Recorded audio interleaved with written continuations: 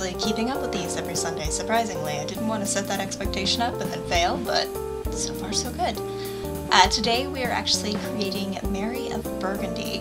I kind of wanted to set up a challenge for myself because the only real images we have of Mary of Burgundy, and this is meant to be Charles the Bold's only daughter, but we have a painting and we also have her effigy, and of course these are both profiles.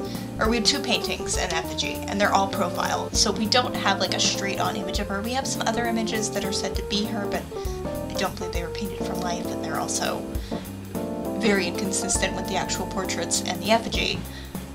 So I was inspired by the front-facing ones I could find, but it was mostly based on the profiles. First I had to find like the right kind of pale but rosy cheeked skin tone. I've got a lot of skins, so it's mostly just me fiddling around going which one is gonna be perfect. Which I don't think I actually end up keeping this one, but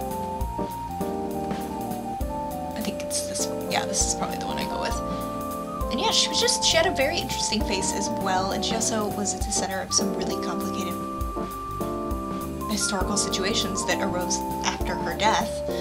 She died very young, she was married to Emperor Maximilian I, and yeah, her death kind of kept some dynasties together, but they switched from, that's when like it moved from the Valois to the Habsburgs, I believe, and then it started like a whole thing.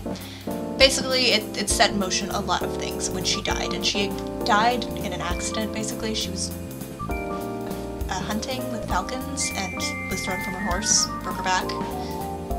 Very sad. Like i think she was like 25 but yeah it set off quite a lot of historical events just as a result because of her death and i thought she'd be fun to make too like i said I like the challenge of I've only got profile images to work with. So how do I make it work? She also had a very, very long face, which was interesting. Because, I mean, I, do, I haven't seen a ton from her specific location and everything, but usually you see the long faces in like Elizabethan male portraits.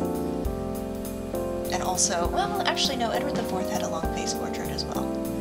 I don't know, she had a very long face, which I thought was interesting. You also see it a lot more in, I almost said male characters, male individuals, because they were actual people, but... she also had an interesting nose that I was like, oh no, not another, not another nose struggle, not another nose struggle. I don't have quite enough sliders to satisfy me for the noses. But I think overall I was able to get a pretty good likeness to her. I'm not 100% crazy about how she turned out, like, front-facing wise, just because I just didn't have enough to go on. And I also didn't have a slider that I could make her eyes, like, her eyes are almost protruding a little bit in the images, like, they stick out, but that would look really weird in The Sims, so I was like, alright, I have to temper that a little bit. But I do wish I had a bit of a couple more slider options just to make that happen. And her mouth was also really hard because mouths really, like, you need to see the front. Like, it, it, it shapes the whole thing. So it was like trying to get it, and then her eyebrows, you can see, like, she's just got, she's got a really long face. And then the really thin, thin eyebrows. You can see I'm just like, ooh, I don't like this front as much. The lip also was a little bit weird. It took me a while. I was able to fix it. You can see the shadow there is like odd currently. It makes it look like she has a cleft chin and she doesn't. And I was like, wait a minute, what happening? How do I fix that?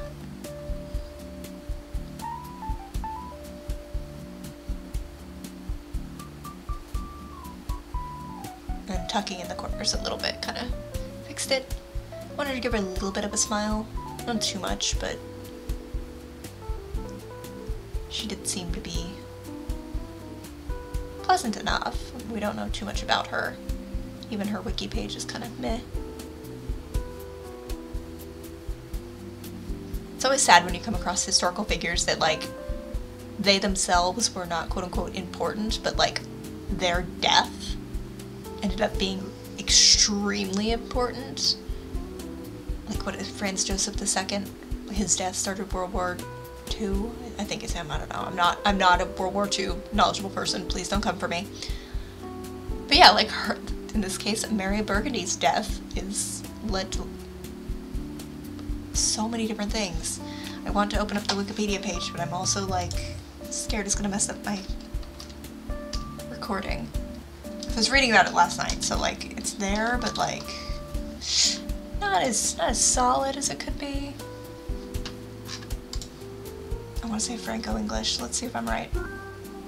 Oh, the French ha Habsburg rivalry is what that led to for literal centuries. Because her marriage was like kind of supposed to fix things, which a lot of marriages were supposed to fix things, but didn't. But she inherited her lands very young. She actually had some kids that did, did survive. She had two children. Philip the Handsome and Margaret, who married Juan, the Prince of Asturias. Margaret the... Hold on, now I'm looking because I'm like, I think that this is... This, this is who I think it is.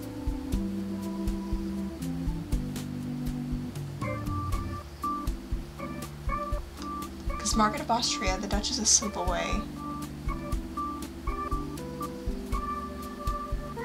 isn't that...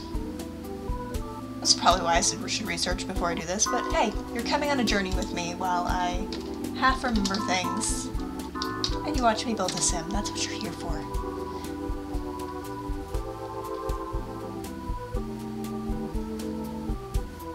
Yeah, so she, funnily enough, Margaret of Austria, who is Mary Burgundy's daughter, that's who Anne Boleyn went and stayed with as a maid of honor.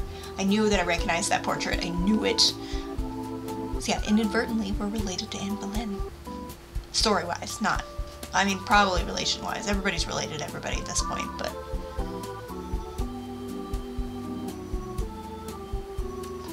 Now I'm just looking at the birthday. I was saying 14, wasn't I? I meant 15. Please ignore me. They think her birthday's between, Anne Boleyn's birthday's between 1501 and 1507. I was probably talking about that in a prior video and someone's gonna correct me. I'm tired, okay? I'm tired. Not a historian. I don't claim to know to know anything about anything. I just read a lot. It's a thing that's going around lately, like people arguing with actual historians because of what they've read on the internet. I'm like, ooh, why? Why would you think that you know more than them? They've literally spent their entire scholarly life on this. Like, you might have read some books, but you probably haven't seen the primary source materials there, buddy. I just think they're neat. Also, I did not have a hennin installed, so and I already knew that. I knew that I didn't have one and I didn't want to go find one, so I was like, am I just gonna give her pretty flowy hair like she would get if she was on a modern TV show? Am I gonna am I gonna lean into that? I don't actually know what I end up giving her though. I don't think I do flowy. I think I actually give her some sort of head covering. Head-ins are cool though. I just, I don't play in that particular era and I don't really like them and they clip a lot anyways, so I just don't have them in my game. I just don't have, I don't have the cone heads. I like some head-ins, that's, that's not true. I don't like the, the pointy cone ones that are like stereotypical princess headwear. Yeah, I really liked this hair, but I was like, are we really, are we really gonna be full on our hair blowing in the wind? And I couldn't do it, so I did a head covering.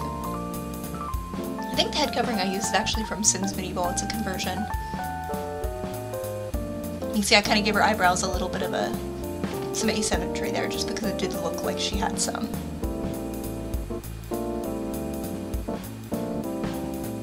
And yeah, that's pretty much it. So thank you guys so much for joining me. Um, definitely leave comments, thoughts, opinions. If you did enjoy the video, definitely give it a like. I'm trying to, I mentioned before now, I'm trying to get more involved with the whole analytics side of YouTube. I don't want to make this my job, but I would like to interact with as many people as I can because it's it's fun and this is my hobby and I would like to share my hobby with people. So yeah, that said, I will see you guys in the next one.